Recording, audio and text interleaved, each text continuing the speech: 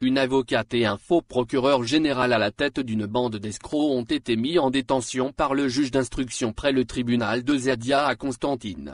La bande composée de six individus âgés entre 29 et 42 ans, était spécialisée dans l'escroquerie de citoyens et d'institutions étatiques. L'un des membres de la bande, composé de sept personnes, se faisait passer pour le procureur général près la cour de Constantine. Les faits ont été exposés ce samedi 21 novembre par le procureur de la République près le tribunal de Ziadia, lors d'une conférence de presse tenue au siège du tribunal. Maître Abdel Fattah Kadri a précisé que le poteau rose a été découvert suite à la plainte d'un responsable d'une institution étatique, ayant été sollicité via un numéro portable par une personne qui s'est présentée comme étant le procureur général près la cour de Constantine, et ce pour des services que devrait accomplir l'entreprise étatique.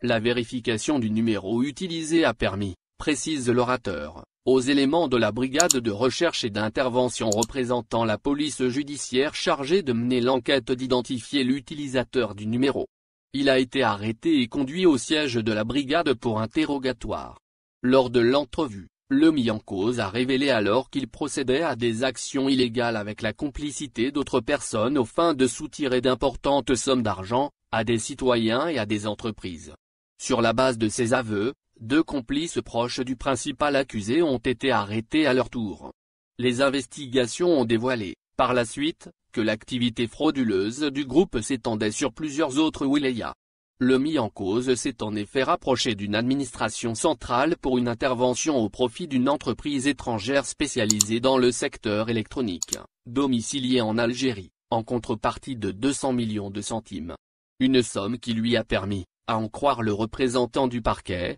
d'acquérir un véhicule. Cette médiation, au cours de laquelle le principal mis en cause s'est fait passer pour le procureur général près la cour de Constantine, s'est faite avec la complicité de la représentante légale de l'entreprise étrangère et d'une avocate mise depuis quelque temps, pour se consacrer à une activité commerciale au sein de la même entreprise. Deux autres personnes impliquées dans cette opération ont également été arrêtées, précise le magistrat lequel indique qu'après l'enquête préliminaire, les six mis en cause ont été présentés devant le parquet avant d'être déférés devant le juge instructeur, pour les chefs d'inculpation de constitution de groupes de malfaiteurs, dans le but de commettre des crimes en usurpant un statut en rapport avec une fonction légalement réglementée, escroquerie et participation dans l'utilisation de statuts en rapport avec une fonction légalement réglementée, et participation dans l'escroquerie et octroi d'indus avantages au profit d'un fonctionnaire public, pour la réalisation d'un travail, tous des faits punis par la loi de lutte contre la corruption.